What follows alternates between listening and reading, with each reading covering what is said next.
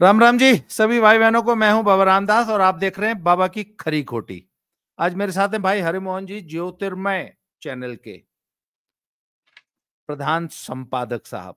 और वैसे पेशे से अध्यापक हैं। यूपीएससी के स्टूडेंट्स को जो हमारे जो कलेक्टर साहब लोग बनते हैं ना उनको पढ़ाते हैं। हरिमोहन भाई राम राम। बाबा जी राम राम शुक्रिया।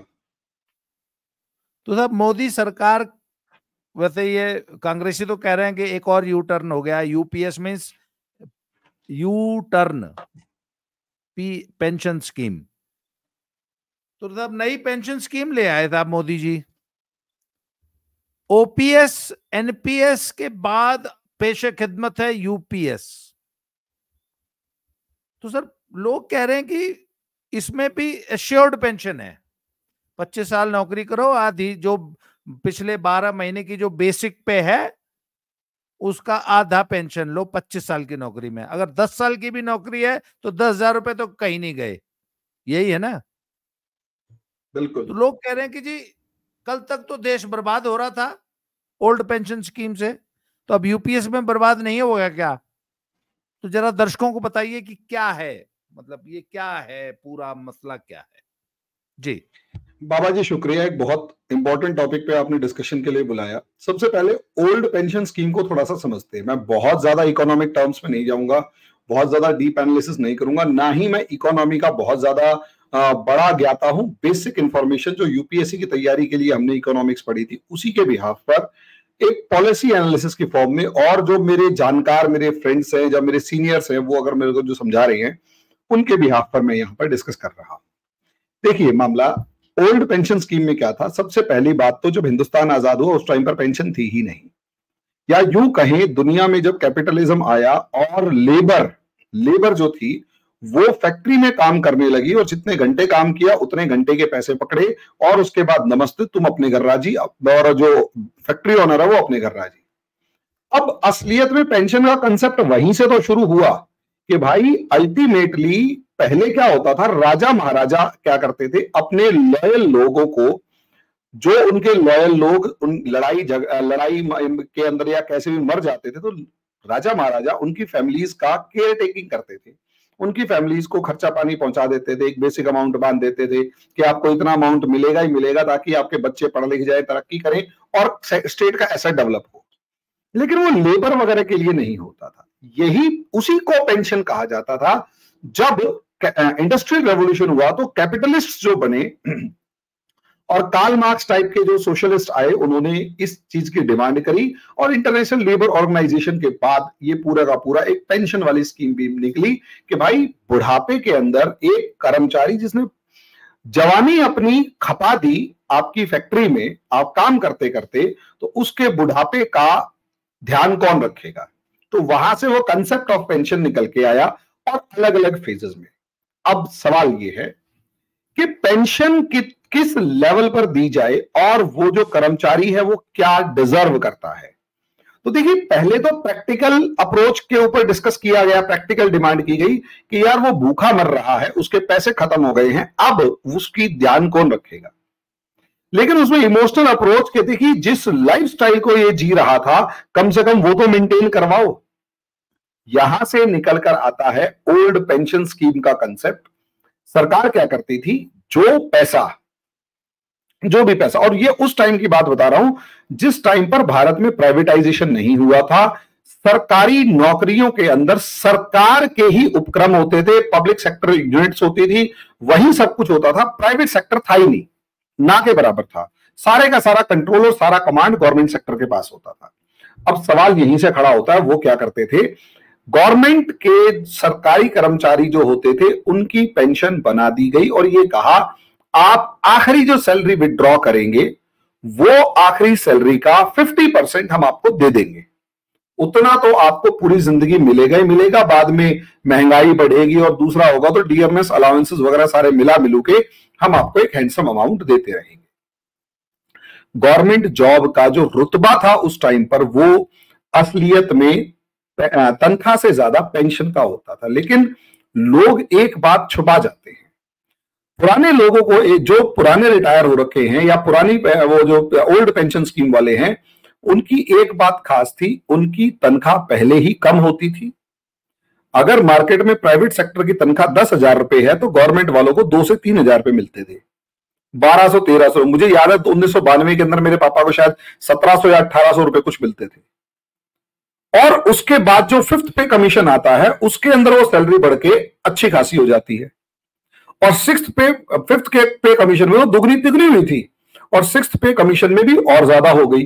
सेवंथ पे कमीशन में देखेंगे तो इतनी सैलरी नहीं बढ़ी। क्यों? क्योंकि सरकार ने क्या किया?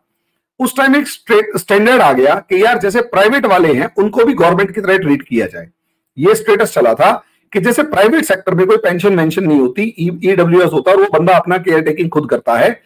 वैसे ही सरकार इनके तरफ़ लेके आए क्योंकि उसके दो रीजन थे। पहला, सरकार के बजट खाते के ऊपर, जो भी बजट बनाती थी, उसके ऊपर ओल्ड पेंशन स्कीम का दबाव बहुत ज़्यादा होता था। बहुत ज़्यादा।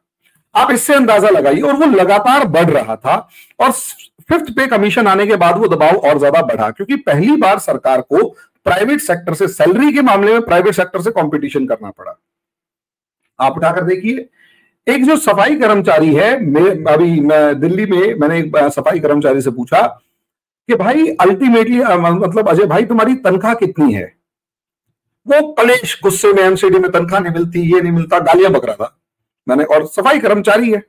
मैंने, भाई तनख्वाह कितनी है? कहता छप्पन हज़ार रुपए। एक सफ़ाई कर्मचारी की तनख्वाह छप्पन हज़ार रुपए। प्राइवेट सेक्टर में एक मैनेजर की सैलरी इतनी नहीं होती जितनी उसकी सरकार, सफ़ाई कर्मचारी की तनख्वाह थी। मुझे उससे कोई दिक्कत नहीं है। अब सवाल, समस्या यही आ रही थी कि जब तक वो सैलरी दो तीन हज़ार, पाँच हज़ार रुपए थी सरकारी में तो तनख्वाह क्योंकि दो तीन पाँच हज़ार रुपए थी तो पेंशन भी उसी हिसाब से दो ढाई तीन हज़ार, चार हज़ार रुपए बनती थी। लेकिन अब तनख्वाह हो गई एकदम से पचास हज़ार रुपए। तो सैलरी भी हो गई पच्चीस हज़ार, वो पेंशन हो गई पच्चीस हज़ार रुपए। तो इससे एक डाटा रफ उठाकर अगर आप देखेंगे तो आपको अंदाज़ा लगेगा ओल्ड पेंशन स्कीम में जो सेंटर का जो पेंशन बिल था 1990 91 था तीन हज़ार दो सौ बहत्तर करोड़ रुपए। और अगर सेंटर का अभी 2020-21 के अंदर गुना बढ़ के हो गया एक लाख नब्बे हज़ार आठ सौ छियासी करोड़ रुपए। तीन हज़ार रुपए से एक लाख नब्बे हज़ार एक सौ छियासी करोड़ रुपए सिर्फ़ सेंट्रल गवर्नमेंट के पेंशनधारियों का है। अगर इसमें स्टेट को देख लिया जाए तो उन्नीस सौ नब्बे इक्यानवे में स्टेट्स की जो पेंशन थी वो थी तीन हज़ार एक सौ इकतीस करोड़ रुपए, जो कि स्टेट्स की बीस इक्कीस के अंदर जो थी बढ़ोतरी, वो 125 गुना हुई और वो हुई तीन लाख छियासी हज़ार एक रुपया। यानी अगर हम टोटल उठाकर देखें अप्रोक्सीमेट अप्रोक्सीमेट नब्बे इक्यानवे में जो पेंशन का बिल होता था, वो होता था लगभग लगभग छह हज़ार करोड़ रुपए के आसपास, छह हज़ार तीन सौ करोड़ रुपए। आज वो कितना है बाबा जी? आज है वो लगभग लगभग छह लाख करोड़ रुपए। छह हज़ार करोड़ रुपए की जगह छह लाख करोड़ रुपए, यानी सौ गुना पेंशन का बिल बढ़ गया है। अब सरकार उसी ओल्ड पेंशन स्कीम से कैसे भी करके पीछा छुड़ाने के मूड में थी कि यार, कैसे भी करके इस चीज़ से बचो, बचाओ, ताकि समस्या से तो मुके। और ये जो पैसा बच रहा है, इस पैसे को हम देश की तरक्की पे, डेवलपमेंट पे लगाए। तो और दूसरी समस्या क्या थी?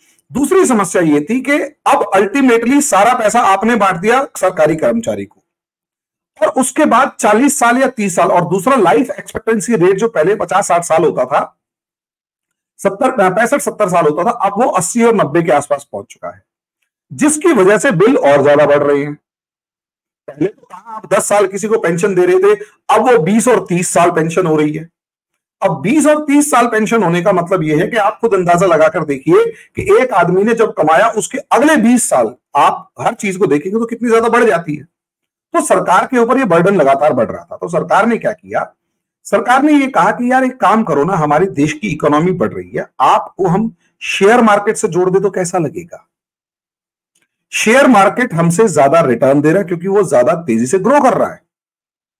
ऐसे में सरकार ने यहाँ से वो म्यूचुअल फंड इन्वेस्टमेंट और सब चीज़ें आई और सरकार ने पेंशन को खत्म करके एक अगर एक अप्रैल 2024 के बाद कोई भी नई भर्ती वाला था।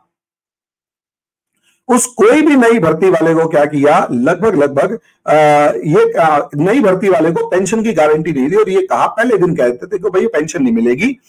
आपको हम जितने पैसे आप अपने प्रोविडेंट फंड में जमा करवाएँगे, उतने हम करवा देंगे। बस आप ये जो अमाउंट है, ये शेयर मार्केट के अकॉर्डिंग आपको मिलेगा। अब एक अप्रैल 2024 को हो चुके उसे 20 साल। अब ये जो कर्मचारी हैं, सरकारी कर्मचारी, इनको, इनका कहना ये है कि हमें तो यार 10 परसेंट का रिटर्न भी नहीं मिल रहा। क्योंकि ये जो नौ कंपनियाँ हैं, ये कौन कौन से शेयर्स में पैसा लगा रही हैं, कैसे लगा रही है, कैसे नहीं लगा रही, हमें समझ में नहीं आ रहा और हालत हमारी ये खराब हो रखी है कि हमें रिटर्न्स नहीं दे रहे। शेयर मार्केट जो है, वो 10 से 20 गुना बढ़ चुका है, लेकिन हमारा प्रोविडेंट फंड का पैसा और सब चीज़ों को तो बढ़ी ही नहीं। बात बिल्कुल ठीक है। कि शेयर मार्केट जो है वो आठ हज़ार से अस्सी हज़ार पचासी हज़ार पहुँचा हुआ है, लेकिन वो नहीं बढ़ रहा। अब उसका किसी के पास कोई जवाब नहीं कि वो पैसा गया था और 20 साल बाद वो जो सरकारी कर्मचारी 2004 से भर्ती होना शुरू हुए थे, उन सबको लगने लगा कि यार हमारा बुढ़ापा तो बड़े घट घाटे में जा रहा है। और new pension scheme old pension scheme की सबसे बड़ी खास बात यह थी कि वो गारंटीड थी। न्यू पेंशन स्कीम की सबसे बड़ी प्रॉब्लम यह है, कोई गारंटी नहीं है। जितने साल नौकरी करोगे और जितने पैसे कमाओगे, उतने पैसे पकड़ो और दफ़ा हो जाओ। यानी ठेका मजदूरी के बराबर की सरकारी नौकरी कर दी गई थी। अब प्रॉब्लम यह आई कि सरकारी कर्मचारी को यह लगने लगा कि जो तनख्वाह 2007-8 के आसपास हमारी प्राइवेट सेक्टर से कहीं ज़्यादा थी। बाबा जी, ऐसा था? जब सिक्स पे कमीशन आया तो सरकारी कर्मचारियों की तनख्वाह प्राइवेट कर्मचारियों से कहीं ज़्यादा हो गई। और नतीजा उसका यह हुआ कि प्राइवेट सेक्टर में काम करने वाला लड़का गवर्नमेंट सेक्टर के अंदर तैयारी करने लगा और 2000 इसका एक एग्जांपल बताता हूँ 2006-7 के आसपास एसएससी की कट ऑफ़ जाती थी, दो सौ पिचानवे, दो सौ छियानवे, दो सौ सत्तानवे। आज वो कट ऑफ़ जा रही है 400 पार 600 में से साढ़े चार सौ पाँच सौ के आसपास। आप अंदाज़ा लगाकर देखिए कि कितना बड़ा जंप 2008 के बाद आया, वो इसलिए आया क्योंकि जितना भी इंजीनियर बन के निकला, जितना भी स्टूडेंट निकला, वो प्राइवेट सेक्टर में जा ही नहीं कह रहा है सैलरी दो गवर्नमेंट में ज़्यादा है। तो और स्टेबिलिटी भी और प्रेशर भी नहीं। तो वो सीधा भाग के आ गया गवर्नमेंट में। नतीजा क्या? स्टूडेंट भाग के आ रहा है मतलब दबाव डाल रहा है सरकारी के ऊपर और सरकारी नौकरी पे और सरकारी कर्मचारियों के। तभी आप देखोगे ना, पहले 11 लाख 12 लाख 20 लाख 25 लाख, पचास, पचालीस लाख बच्चा कोई गवर्नमेंट एग्ज़ाम देता था क्या? ये 40 लाख कोई गवर्नमेंट एग्ज़ाम नहीं देता है बच्चा गवर्नमेंट एग्ज़ाम नहीं देता था, मुश्किल से पचास हज़ार, साठ हज़ार, दो तीन लाख बच्चा होता था जो सरकारी नौकरी की ट्राई करता था। और एक समय ऐसा आ चुका था कि सरकारी नौकरियों में टैलेंट मिलना मुश्किल हो चुका था, क्योंकि तनख्वाह कम थी और प्राइवेट में ज़्यादा थी। अब उसके बाद उल्टा हो गया, ये तनख्वाह जो है, ये कम हो गई प्राइवेट में और सरकारी में बढ़ गई और श्योरिटी ज़्यादा है। तो वो जो प्राइवेट सेक्टर में लड़का भाग रहा था, वो सीधा भाग के आया गवर्नमेंट सेक्टर में और लाखों रुपए की सैलरी और उसके साथ कंपटीशन लाखों बच्चों में। ये चीज़ जब हुई तो एक तरफ़ तो टैलेंट का टैलेंट पूल सरकारी नौकरी में अपना टैलेंट वेस्ट कर रहा है। दूसरी तरफ़ टैलेंट पूल के साथ साथ समस्या ये आई कि सरकारी कर्मचारी को श्योरिटी गायब हो गई। कि यार हमारी को पेंशन नहीं मिलेगी, ये सब चीज़ें, और तनख्वाह। और 10 साल में प्राइवेट सेक्टर ने तो अपनी सैलरी बढ़ाई गवर्नमेंट ने अपनी सैलरी नहीं बढ़ाई। आज हालात ये हो गए हैं कि प्राइवेट सेक्टर जो है, उसके पास सैलरी गवर्नमेंट के कंपैरिजन में कहीं ज़्यादा है। हम फोर्थ क्लास मतलब वो सफ़ाई कर्मचारी वगैरह को छोड़ दें तो टारगेट बेस्ड सैलरी जो है, वो प्राइवेट सेक्टर की ज़्यादा है गवर्नमेंट के कंपैरिजन में। बस यही सबसे बड़ा चेंज आया। और यहाँ से सरकारी वालों ने शोर मचाना शुरू कर दिया कि हमारी पेंशन कहाँ है, हमारी सिक्योरिटी कहाँ है श्योरिटी कहाँ और दूसरी बात, देखो पॉलिटिकल मामले तो मैटर करेंगे। यहाँ पॉलिटिक्स क्या मैटर कर रही है बाबा जी पॉलिटिक्स ये मैटर कर रही है कि सरकार एक दबाव में तो है, क्योंकि मिडिल क्लास वोट बैंक नाराज़ सा हो रहा है और सरकारी कर्मचारी अमूमन बीजेपी को वोट करता था। और पॉसिबली इस बार ऐसा हुआ 2004 में सरकारी कर्मचारी ने बीजेपी को वोट नहीं किया, बीजेपी को शहरों में नुकसान हुआ। वही सरकारी कर्मचारी ने इस बार भी कहीं ना कहीं ओल्ड पेंशन स्कीम के डिमांड के चलते कुछ सरकारी कर्मचारियों ने बीजेपी को वोट नहीं किया। हिमाचल इसका बेस्ट एग्ज़ाम्पल है। नतीजा उसका यह हुआ, हिमाचल विधानसभा चुनाव। नतीजा इसका यह हुआ कि बीजेपी देख रही है कि उसका वोट बैंक थोड़ा थोड़ा तो हिल रहा है, क्योंकि मिस इंडिया अगर S C S T OBC और माइनॉरिटीज में से नहीं बनी। और ये मुद्दा अगर उठ रहा है कि मिस इंडिया नहीं बनी बॉलीवुड नहीं उठा बना में, में कोई दलित समाज से नहीं है तो इसका सीधा मतलब ये है कि कहीं ना कहीं सिचुएशन जो है वो खराब है। और सरकार घबराई हुई है इस मामले में। अब सवाल यह है कि सरकार ने इस चीज़ को ध्यान दिया और सीधे सीधे तौर पे अपना एक एजेंडा सेट कर लिया कि देखो भैया सीधी सी बात यह है कि हम इनको पेंशन वगैरह दे देते हैं। लेकिन समस्या यह है सरकार जिम्मेदार सरकार है। ओल्ड पेंशन स्कीम में क्या होता था? तनख्वाह कट जाती थी और वो तनख्वाह का कोई कॉर्पस नहीं बना रखा था। सरकार के पास ऐसा कोई सिस्टम नहीं था कि वो जो पैसा हो, वो अपने आप पैसे कमा के आगे बढ़ाए। सरकार के पास ऐसा कोई सिस्टम नहीं था। यानी सरकार को अपने बजट में से वो पेंशन देनी पड़ती थी। यानी सरकार ने जो तनख्वाह काटी, उसे अपने खर्चों में इस्तेमाल कर लिया। कि पेंशन में देंगे। वो पेंशन का बजट बढ़ता गया और आज के दिन तीन लाख करोड़ रुपए सर पे बैठा हुआ है। इस सरकार ने क्या किया है? इस सरकार ने यह किया है कि देखो यार सीधी सी बात यह है हम पेंशन दे, दे, देने के लिए तैयार हैं। लेकिन अरेंजमेंट थोड़ा सा डिफरेंट है। दिखने में ऊपर से बिल्कुल सेम है। यानी गारंटी ओल्ड पेंशन स्कीम में थी गारंटी यूपीएस के अंदर है न्यू पेंशन या यूनाइटेड पेंशन स्कीम जो है इसके अंदर है। पच्चीस साल अगर आप नौकरी कर लेते हो तो सैलरी का आधा अमाउंट आपको मिलेगा। पहले था लास्ट सैलरी विड्रॉल उसमें कर्मचारी बेईमानी कर जाते थे। क्या करते? भाई, आखिरी की जितनी पूरी ज़िंदगी की छुट्टियाँ बची हुई हैं, आखिरी में दो दो तीन तीन महीने की छुट्टी लेके बैठे रहते हुए अब क्या किया? पहले लास्ट सैलरी विड्रॉल होती थी, इस बार किया, बारह महीने की सैलरी विड्रॉल है। यानी आप आखिरी में जो छुट्टियाँ वुट्टियाँ काउंट करवा रहे होते ना, वो सारी काउंट नहीं होंगी। और आप दो महीने की छुट्टी नहीं ले पाओगे क्योंकि विदाउट पे और पे और सारी सैलरी जो है ना वो सब काउंट होगी। एक चीज़ दूसरी चीज़। पहले भी फैमिली पेंशन होती थी इस बार भी फैमिली पेंशन है। मिनिमम सैलरी मिनिमम जो आ, वो पे होती थी वो पहले नहीं थी। पहले भी थी और अभी भी है कोई डिफरेंस नहीं है। सबसे बड़ा फ़र्क क्या है बाबा जी? सबसे बड़ा फ़र्क ये है कि पहले सरकार जो कर्मचारी का पैसा काटती थी वो पैसा खुद अपने छोटे मोटे खर्चे या दूसरे खर्चे इस्तेमाल करने में, खर्चे करने में इस्तेमाल कर लेते इस बार सरकार ने क्या किया है? सिंपल सा एक काम किया है कि जो पैसे आपके कटेंगे, वो साथ में उतने ही पैसे हम जोड़ेंगे वो। उसका एक कॉर्पस फंड बनाएँगे। उस कॉर्पस फंड को हम अपने डेवलपमेंट वर्क्स में लगाएँगे। इन्वेस्टमेंट प्रोजेक्ट्स में लगाएँगे, जैसे। आज के दिन अगर आप देखेंगे तो हमारा जो एनएचएआई है, उसके पास लगभग 17-18 लाख करोड़ रुपए के प्रोजेक्ट्स चल रहे हैं। अब उनसे टोल भी मिल रहा है।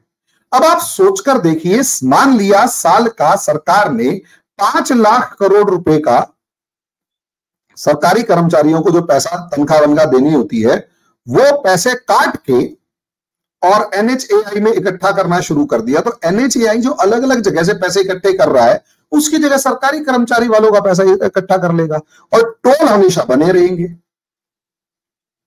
और जो पैसा सरकारों का एनएच में एग्ज़ाम्पल दे रहा हूँ कि जो पैसा सरकारों का एनएचएआई में लगा, वो टोल प्रोड्यूस कर रहा है। और समय के हिसाब से टोल बढ़ता जाएगा। अब जैसे जैसे समय के हिसाब से टोल बढ़ता जाएगा वैसे वैसे पैसे जनरेट होते चले जाएँगे। ये प्रोडक्टिव काम है। इन्वेस्ट करना है।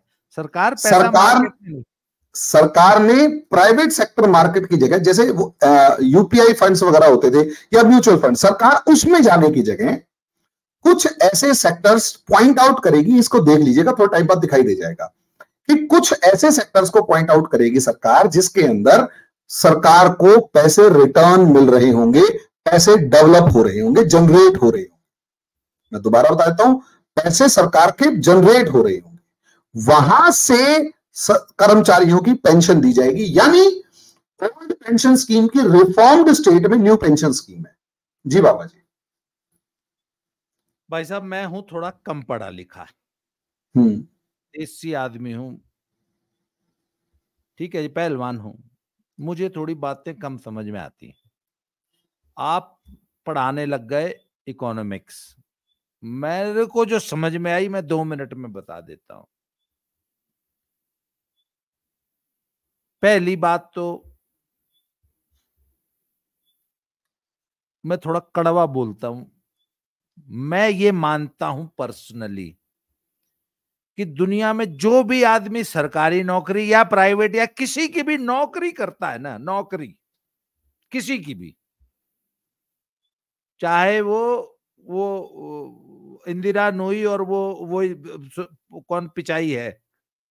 चाहे वो जो भी हो।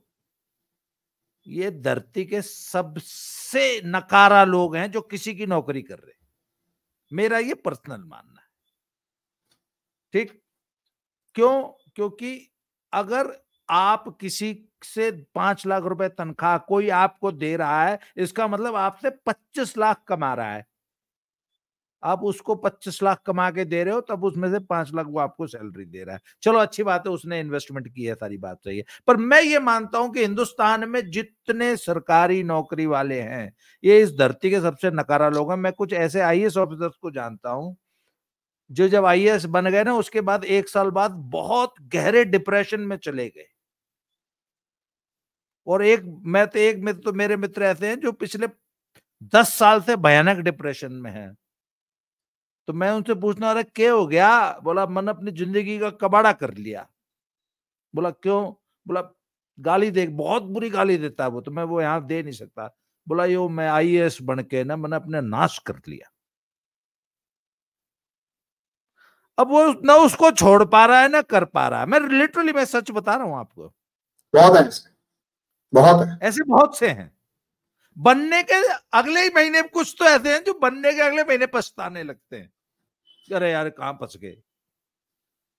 तो सब बात यह कि जो सरकारी कर्मचारी होता है ना वो एक तो नकारा होता है उसके बस का कुछ होता नहीं। उसके अं, उसके अंदर इतना कॉन्फिडेंस ही नहीं होता कि मैं इस नौकरी को अगर छोड़ दूँगा तो ज़िंदा रह लूँगा सरवाइव कर जाऊँगा या मैं इसके अलावा है। पाँच साल बाद खत्म हो जाता है वो कॉन्फिडेंस तो अच्छा जब मैंने जब नौकरी छोड़ी तो मेरे पिताजी मेरे बहुत खिलाफ थे। मैं भी सरकारी नौकरी में स्थायी कोच था जी। जब मैंने छोड़, छोड़ने लगा मैं तो मेरे पिताजी बोले, नहीं हो जाएगा, नहीं हो जाएगा। मैंने कहा, ऐसा है। ये पीनट्स मिलते हैं इस नौकरी में, चने भी नहीं खरीद सकता आदमी। और मैंने कहा, मेरे अंदर इतना टैलेंट है, मैं जहाँ रहूँगा, वहाँ इससे ज़्यादा कमा लूँगा। आप मेरी फ़िक्र मत करो। और मुझे ये भरोसा था। अच्छा ये सेम नौकरी मेरी पत्नी को भी मिल रही थी। हमने छोटे तू, हम किसी की नौकरी करेंगे। सर, आज तक हमने किसी की नौकरी नहीं की, आज तक नहीं करी। सरकारी छोड़ के घर बैठे और पूरा ज़िंदगी एंजॉय किया हमने। तो सर, एक तो सरकारी नौकरी वाला ना बेचारा बहुत ही निरीह प्राणी होता है। ये सारी ज़िंदगी दो ही काम करता है, आपको, आपने तो की नहीं, आपको पता नहीं होगा। सरकारी नौकरी, सरकारी नौकर सिर्फ़ दो चीज़ गिनता है, छुट्टी कब है?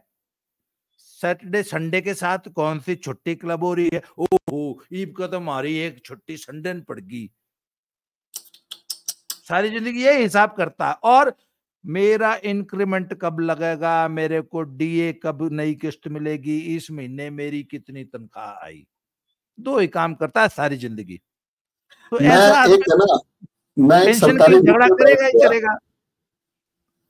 मैं बाई चांस की बात है मैं बाई चांस की बात है मैं ट्रेन से ट्रेवल कर रहा था तो ट्रेवल करते करते पाँच सात गवर्नमेंट के सर्वेंट्स का जो ग्रुप था वो बैठ गया था। अब फ़र्स्ट क्लास बोगी थी उनको मिल गया होगा। कैन यू इमेजिन वो लोग क्या बात कर रहे थे? वो नहीं होता वो मतलब ट्रेन के बीच वाला एक वो जो पार्ट होता है उसमें हम्म। पाँच बंदे और वो पाँच ही थे छठी सीट मुझे मिल गई और मैं साथ वाले में था मतलब। तो वो पता है क्या डिस्कस कर रहे थे? कि इसमें बीस रुपए या पचास रुपए और डेढ़ सौ रुपए दो सौ रुपए कटते हैं इसके ये कटते हैं उसके वो कटते हैं। और ये बढ़ते बढ़ते अगर हम 20 साल का हिसाब लगाए तो उसमें इतने हो जाएँगे और इसमें इतने हो जाएँगे। यानी वो 20 साल बाद पाँच लाख रुपए काउंट कर रहे थे। मैंने कहा आर यू ओके भाई 20 साल बाद तुम पाँच लाख रुपए काउंट कर रहे हो। कैन यू इमेजिन कि कितने छोटे लेवल पर तुम सोच पा रहे हो यार? मैं बड़ा, मैं गलत नहीं कह रहा, मैं यूँ नहीं कह रहा कि वो सोचना गलत है। मैं ये कह रहा हूँ कि तुम लोग जितनी टैलेंटेड हो जितनी कैलकुलेशन कर रहे हो जितनी बारीकियों से हर चीज़ को देख रहे हो यू वेस्टिंग योर एनर्जी यार। हम्म। और वो भी पाँच लाख रुपए बीस साल बाद कितने रुपए होंगे? पाँच हज़ार के बराबर। चलो पचास हज़ार रुपए के बराबर। तो ये चीज़ जो है ये एक नॉर्मली और ये हो जाता है। मैं अपनी बात कंप्लीट कर लू। मैं अपने हम्म। बेटे से बात कर रहा था तो मैंने उसको समझाया कि अबे भूल के भी ये ओपीएस के चक्कर में मत पड़ो, ये एनपीएस दुनिया की सबसे अच्छी स्कीम है। अच्छा आज मुझे अगर कोई चूज़ करने के लिए कहेगा ना सर, कि आप ओपीएस लेंगे एनपीएस लेंगे या यूपीएस लेंगे? तो यूपीएस तो सर एक प्रकार से गवर्नमेंट ने मुझे ऐसा लगता है बेवकूफ़ बनाया है पब्लिक को। मैं, उसको मैं प्रूव कर दूँगा। मैंने कहा, भैया ओपीएस भूल के भी मत वो करो। हाँ तुम्हें शिकायत है कि तुम्हारा पैसा अगर एनपीएस में नहीं ग्रो कर रहा तो सरकार ने एक ऑप्शन तुमको दे दिया है कि तुम अपना आधा कॉर्पस आधा फंड अगर तुम्हारे दस लाख रुपए इकट्ठे हुए हैं तो पाँच लाख तुम अपनी मर्ज़ी से शेयर मार्केट में इन्वेस्ट कर सकते हो। मैंने कहा, कुछ मत कराए गोल्ड के बॉन्ड ले ले, नहीं तो कोई म्यूचुअल फंड ले ले, नहीं तो कोई, वो क्या कहते हैं, हर महीने वाली जो सिप कर ले, कुछ भी कर ले। मैंने कहा, ये जो तुम्हारी ओपीएस है ना, इससे दस गुना ज़्यादा रिटर्न देगा ये ये आज, जब मैंने कहा, जिस दिन तू रिटायर होगा, पैंतीस साल बाद, ये जो जो ओल्ड पेंशन स्कीम में जो पेंशन मिलनी है, उसका दस गुना ज़्यादा रिटर्न दे के जाएगा। कल मैं एक, किसी शेयर मार्केट के बंदे का एक बात सुन रहा था, कहते हैं 1970 में अगर किसी आदमी ने एक हज़ार रुपए इसमें नारायण मूर्ति के इन्फोसिस में लगाए होते तो आज उसके पास पता है कितने पैसे होते? तो वो लड़का अंदाज़ा लगा रहा था, एक करोड़, बोला, ऊपर जा ऊपर जा। एक करोड़ से उसने शुरू किया, बोला, और ऊपर जा, और ऊपर जा। तो वो दस बीस करोड़ रुपए से ऊपर उसकी इमेजिनेशन ही खत्म हो गई। तो वो बोले, सात सौ करोड़ रुपए होते। और वो शेयर मार्केट का एक्सपर्ट बनता था, जो भी नाम नहीं पता मुझे। कहता, एक हज़ार रुपए नाइनटीन में अगर विप्रो नहीं विप्रो नहीं है इन्फोसिस लिया होता। तो आज सात सौ करोड़ रुपए होते। वो छोड़ दो सर। बीस साल पहले की जो आप बात कर रहे हैं ना बीस साल पहले भी अगर किसी ने प्रॉपरली इन्वेस्ट किया होता तो आज आपने देखा कि सौ गुना ज़्यादा ग्रोथ है। तो मैंने कहा ये एनपीएस वाले अपना पैसा खुद मैनेज करो। अपनी म्यूचुअल फंड और दुनिया भर के इंस्ट्रूमेंट्स हैं। उसमें एक सेफ़ से में लगा दो पैसा। तुमको ओपीएस या इस यूपीएस से सौ गुना ज़्यादा रिटर्न मिलेगा। आप पहले, उसके लिए पर आपको थोड़ा सा टेक्निकली प्रॉब्लम ये है, प्रॉब्लम ये है कि यहाँ विपक्ष जो राजनीति कर रहा होता है और लोगों को भड़का रहा होता है। अगर हम बी क्लास और ए क्लास ऑफिसर्स की बात करेंगे तो उनको प्रॉब्लम नहीं है। सारी प्रॉब्लम जो है वो सी और डी क्लास वाले जो ऑफिसर्स है, उनके उनके अंदर दिखाई दे रही होती है कि हाय हाय हाय हाय, क्योंकि बहुत सारी चीज़ें उनको समझ में नहीं आ रही होती। तो मैं तो कई बार ये सोच रहा हूँ यार बी और सी वालों को दे दो यार। ए ए और बी वालों को मत दो। वो ज़्यादा स्मार्ट है और दे रही है फिर सभी को दे रहे इस बार गवर्नमेंट ने तब से चक गया है कि भैया तुम चूज़ कर लो। तुम्हें यूपीएस चाहिए या एनपीएस चाहिए? मुझे मालूम है ज़्यादातर तो लोग एनपीएस यूपीएस चूज़ करेंगे पर मैं कहूँगा जो यूपीएस चूज़ करेगा वो नुकसान में रहेगा। NPS is the best scheme पर अपना फंड खुद मैनेज करो तब। सरकार तो भाई, सरकार की एक प्रॉब्लम है। वो कहते हैं कि वो बिल्कुल रिस्क नहीं ले सकती। वो मैक्सिमम सिक्योरिटी वाले जिसमें कम ग्रोथ मिले वो मंजूर है। भाई मेरा पैसा है नहीं पैसा हरिमोहन का मैं क्यों यार काम का रिस्क वाले में लगा दूँ जिसमें ग्रोथ तो बहुत आएगी कभी डूब भी सकता है। इसलिए सरकार ग्रोथ मिलेगी तो तालियाँ नहीं बजेंगी लेकिन डूब के तो गालियाँ मिलेंगी। हाँ, इसलिए सरकार ने बोला भैया जो मिनिमम जिसमें रिस्क है वहाँ तुम्हारा पैसा इन्वेस्ट कर देते हैं। आप ले लो और अपनी मर्ज़ी से करो इन्वेस्ट बढ़िया रिटर्न लो। सर अगर एक बात बताइए 2004 में जब ये एनपीएस आया था उस वक्त यदि कोई हर महीने तीन हज़ार रुपए का गोल्ड का बॉन्ड लेके रखता तीन हज़ार का 2004 में तो आज वो तीन बन चुका होता। तो कम से कम पचास साठ करोड़ रुपए बन चुका होता। बताइए। तो जो लोग भी एनपीएस को नकार रहे हैं वो नकारा है। वो बिल्कुल भी अपना फंड मैनेज करना ही नहीं चाहते। वो जरा अच्छा मैं कहता हूँ, यार देखो, कोई किसान है, हल जोतता है, वो इन टेक्निकल बातों को न समझे तो समझ में आती है। तुम तो सरकारी कर्मचारी हो यार, तुम एक कंपटीशन पास करके आए हो। पुराने जमाने में पर्ची लिख के थोड़ी ना हुड्डा ने और भजनलाल ने नौकरी दी है तुमको। तुम तो कंपटीशन भाई आज का लड़का तो कंपटीशन पास करके आता है ना। ग्रुप डी में भी कई लाख पीएचडी लोगों के साथ compete करता है, तब जाके नौकरी मिली है उसको। तो सर वो क्या शेयर मार्केट की छोटी मोटी एंट्री केसेस महीने दो महीने में नहीं समझ सकता? आप बताइए। इतना इतना बड़ा काम है क्या? दरअसल होता क्या है? दरअसल होता क्या है? एक बार एग्ज़ाम क्रैक करने के बाद वो जीवन में इतने रिलैक्स्ड मोड में चले जाते हैं कि बस कहीं से झूठ नकारा सर इसीलिए मैं इनको नकारा बोलता हूँ। ये अपनी ज़िंदगी में एक बार नौकरी मिल गई थी उसके बाद अपग्रेड किया ही नहीं। और कितने मेहनती होते हैं, कितना काम करते हैं, सर, ये तो हमसे छुपा नहीं है। मैं तो पहले कहता हूँ कि सर, हिंदू, सरकारी कर्मचारी नब्बे परसेंट अव्वल दर्जे का, अब आगे नहीं बोलूँगा, लोग कहते हैं बाबा बहुत बुरा बोलता है, गंदा बोलता है। मैं बोलूँगा नहीं, पर 90 परसेंट सरकारी कर्मचारी हिंदुस्तान में। खैर, छोड़िए, अब मेरे से आप, लोग कहते हैं ना, आप पानी वीडियो बनाते हुए पानी इतना क्यों पीते हैं? मैंने कहा, मेरे वो कहावत है, पानी पी पी के गरी आना। तो मैं पानी पी पी के गरी आता हूँ। इन लोगों को। खैर, तब हरिमोहन भाई, आप कंक्लूड कर दीजिए आज का ये डिस्कशन कंक्लूजन यही है कि बढ़िया स्कीम है, दोनों के दोनों, जिसमें दिमाग है, जो रिस्क ले सकता है और मैनिपुलेट कर सकता है शेयर मार्केट को समझ सकता है, उसके लिए न्यू पेंशन स्कीम थी। अब जो ऐसा है जिसको आप आप, आप वाले शब्दों में नकारा है जो कि सरकारी करके देते मैं तो बस परांठे खाऊँगा। बाकी सारे काम तुम कर दो मेरे को तो खाना है मैंने जीवन में मैं तुम्हारा बन गया दामाद और जो सरकारी दामाद है शॉर्ट में वो अपना ओल्ड पेंशन वो जो यूपीएस है उसकी तरफ़ जाए। ठीक है अब ठीक है देखते हैं लास्ट में तो फिर यही होगा जिसको जो बेनिफिट्स मिले। और मुझे नहीं लगता कि ये जो एक शोर मचाया जा रहा है मोदी सरकार का यू टर्न सरकार पेंशन लाई ही कब थी वाली? पर एक बात है सर मेरे को इसमें हाँ। एक दिखाई दिया है। मोदी जी ने ये ऑप्शन दे दी है कि जिसकी दस साल की नौकरी होगी उसको मिनिमम दस हज़ार रुपए एश्योर्ड पेंशन मिलेगी दस हज़ार रुपए और जिनकी पच्चीस हो गई और पर अभी दस साल नौकरी पड़ी हुई है उनको भी मिलेगी सर आपको नहीं लगता कि बहुत सारे लोग नौकरी से पिंड छुड़ा के भाग लेंगे? जिनमें जरा सा भी कॉन्फिडेंस बचा हुआ है ज़िंदगी में? वो जो ज़िंदगी का जो कॉन्फिडेंस अगर किसी में बचा हुआ है ना वो तो दस साल भी इंतज़ार नहीं करेगा दस हज़ार रुपए के लिए। जैसे मैंने नहीं किया था। तो लाइफ में जिसको कॉन्फिडेंस बच गया था। सर जिस दिन मुझे सरकारी पक्की मेरी पक्की नौकरी तीन महीने बाद में भाग गया था। मैंने अपने बस की ना है। क्योंकि वो फ्रस्ट्रेट हो जाता है ना आदमी, एक बात बताइए ना, सीधी सी बात ये भैया, और सबसे बड़ी बात ये है कि अब एक हाँ ये है कि कोई जैसे दिमाग लगाते हैं मैं एक बंदे को जानता हूँ हस्बैंड वाइफ दोनों के दोनों टीचर है, और दोनों का अप्रोक्सीमेट अस्सी अस्सी हज़ार पे लाख लाख रुपए तनख्वाह है। अब वो आदमी फ्री टाइम में प्रॉपर्टी डीलिंग का काम करता है।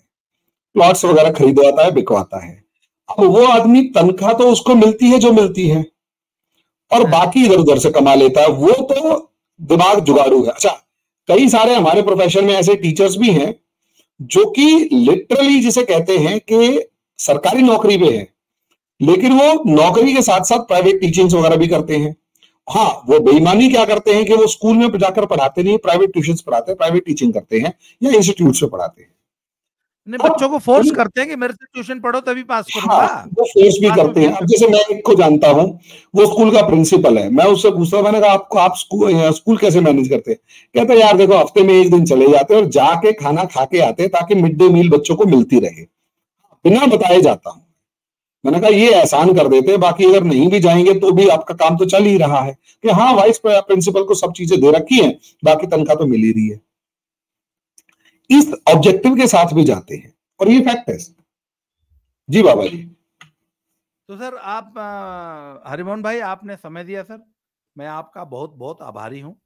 आपने इस बहुत ज़रूरी एक सामाजिक विषय पर प्रकाश डाला और ये तो चर्चा चलती रहेगी सर। अभी भी, अभी तो यूपीएस नया नया आया है।